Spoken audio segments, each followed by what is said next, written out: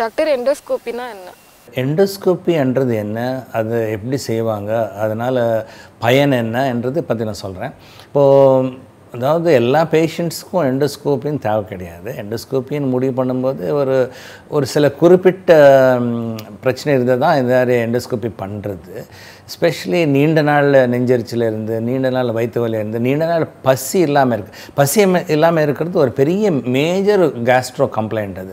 யாருக்காவது பசி இல்லை அப்படின்னா என்னென்னு கண்டுபிடிக்கணும். பிகாஸ் ஒரு சின்ன வயசில் பசி இல்லைன்னா பரவாயில்ல. கொஞ்சம் வயசான பிறகு பசி இல்லைன்னா ஏதாவது சீரியஸாக நோவு இருக்கிறது வாய்ப்பு இருக்குது எண்டோஸ்கோப்பின்னு என்னென்னா எண்டோஸ்கோப்பின்றது ஒரு டியூப் லாங் டியூப் வந்து இப்போ வாய் வழியாக உள்ளுக்கு உணவு குழாயும் சரி ஆஹ், இறப்பை சிறுகுடல் பார்க்கக்கூடிய ஒரு கருவி.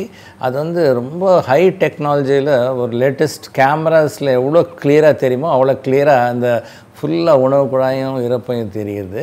அது எப்படி செய்யணும்? பொதுவாக வந்து யாருக்காவது கேஸ்ட்ரன்ட்ராலஜிஸ்ட் டாக்டர் போய் காலையில் பார்க்கணுன்னா நீங்கள் முதல்ல எம்டி ஸ்டமக்கில் போகணும். எம்டி ஸ்டமக் அப்படின்னு என்னென்னா காலையில் தண்ணி கூட குடிக்காமல் போகணும்.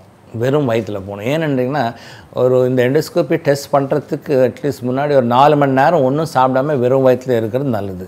ஏன்னா ஏதாவது சாப்பிட்டோன்னா இப்போது நம்ம ஸ்கோப் பண்ணும் போடும்போது இந்த வாய் வழியாக வந்து தொண்டைக்குள்ளே இந்த வயிற்றுக்குள்ளே இருக்கிற மெட்டீரியல் வரத்துக்கு வாய்ப்பு இருக்குது அதனால் எம்டி ஸ்டமக்கில் இது வந்து என்ன நிறைய பேஷண்ட்ஸ் கேட்குறது என்ன நீங்கள் என்ன மயக்கம் கொடுத்து செய்வீங்களா? இல்லை எங்களுக்கு நினைவு இருக்குமா அப்படின்னு? எண்டோஸ்கோப்பின்றது ரொம்ப ஸ்மால் ப்ரொசீஜர் அதாவது ரெண்டுலேருந்து மூணு நிமிஷம் தான் எடுக்கும். இதுக்கு அதிகமாக அனஸ்தீஷியா தேவைப்படாது. ஏன்னா வந்து இப்போது அதுக்கு வந்து தொண்டையில் வந்து ஒரு ஸ்ப்ரே அடிக்கிறது உண்டு. ஸ்ப்ரேன்னு என்ன ஆகும்னா அந்த தொண்டையில் கொஞ்சம் அந்த நினைவில்லாமல் சென்சேஷன் இல்லாமல் இருக்கிறது பண்ணுறது ஸோ எண்டோஸ்கோப்பியை முழுங்கும்போது கொஞ்சம் கஷ்டமாக இருக்கும். ஒரு ஃபியூ செகண்ட்ஸ் அதுக்கப்புறம் ஒன்றும் தெரியாது. ஸோ இது அப்படியே இந்த அண்டோஸ்கோப் வந்து உணவு கூட நீ ஃபுல்லாக பார்த்துட்டு அதுக்கப்புறம் ஸ்டமக்குள்ளே இறப்பைக்குள்ளே என்ன எதாவது பிரச்சனை இருக்கா? அல்சர் இருக்கா? புண் இருக்கா? வேறு எதாவது இருக்கான்னு பார்க்குறது. அதே அதே நேரத்தில் அந்த சிறுகுடல் ஆரம்ப பகுதி கூட பார்க்கறது உண்டு இது பண்ணுறதுக்கு ஒரு டூ த்ரீ மினிட்ஸ் ஆகும். இது ஒரு வாட்டி பண்ணிட்டோன்னா ஏதாவது மேஜர் இஷ்யூ இருக்கா இல்லையான்றது ரொம்ப கிளியராக நம்மளுக்கு தெரிஞ்சிடும். இப்போ ஒரு டாக்டர் வந்து பத்து பேருக்கு எண்டோஸ்கோப் எழுதியிருக்கோன்னா அதில் ரெண்டு மூணு பேர் கண்டிப்பாக ஏதாவது ப்ராப்ளம் இருக்கும். அது ப்ராப்ளம் இல்லாமல் நம்ம இ- இருக்குன்னு இமேஜின் பண்ணி மருந்து சாப்பிட்றதுல அது ஒன்றும் இது கிடையாது. அதனால் எண்டோஸ்கோப்பின்னு யாராவது டாக்டர்ஸ் கேட்டாங்கன்னா அது பண்ணிக்கிறது நல்லது. அது ஒன்றும் பயப்படக்கூடியது கிடையாது. யாருக்காவது இல்லை எனக்கு மயக்கம் கொடுங்கன்னா நாங்கள் மயக்கம் கொடுத்து கூட இந்த மாதிரி இந்த எண்டோஸ்கோப்பி பண்ணுறது உண்டு.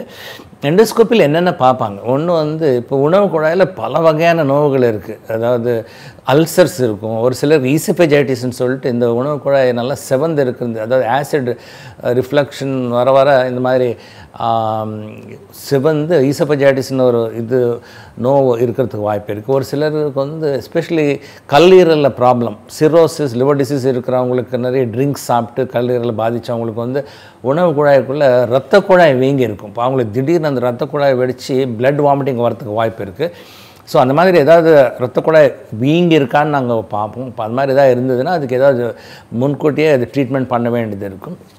அதே ஸ்டமக் அதாவது இறப்பைக்குள்ளே ஒரு சிலருக்கு அல்சர்ஸ் அல்சர்ஸ்ன்றது எல்லாம் யார் கேட்டால் எனக்கு அல்சர் இருக்குன்னு பாருங்க. பொதுவாக அல்சர்ஸ்ன்றது இப்போ இந்த காலகட்டத்தில் ரொம்ப ரொம்ப ரேர் ஏதோ சின்ன ஏரியா செவந்த ஏரியா இருக்கும். அதுதான் அல்சர்னு அவங்க நினைப்பாங்க. அது அந்த மாதிரி ஏதாவது பிரச்சனை இருக்கான்றது தெரியும். அது இல்லாமல் இப்போது ஒரு சிலருக்கு ரொம்ப ரேராக கேன்சர் மாதிரி நோவு இருக்கிறதுக்கு வாய்ப்பு இருக்குது. நாங்கள் நிறைய பேருக்கு வயசானவங்களுக்கு எண்டோஸ்கோப்பின்னு கேட்டோன்னா அது இந்த மாதிரி ஒரு டவுட் இருந்தால் கேட்போம். அது வந்து எண்டோஸ்கோப்பிலும் தெரியும் வேறு எந்த டெஸ்ட்லையும் தெரியாது. எண்டோஸ்கோப்பியில் அந்த மாதிரி ஆ- ஆரம்ப திசையில் கண்டுபிடிச்சிட்டாக்கா அது ட்ரீட்மெண்ட் பண்ணி க்யூர் பண்ணுறதுக்கு வாய்ப்பு இருக்குது இதோட ஒரு சிலருக்கு வந்து நாங்கள் என்ன அந்த ஸ்டமக்லேருந்து சின்ன சதை எடுப்போம். அதாவது பாப்சின்றது பாப்சின்னு சொன்ன உடனே பாமர மக்கள் வந்து பயந்துடுவாங்க எனக்கு ஏதோ ரொம்ப சீரியஸாக நோவு இருக்குது அதான் பாப்சி பண்ணுறோம் அப்படின்னு.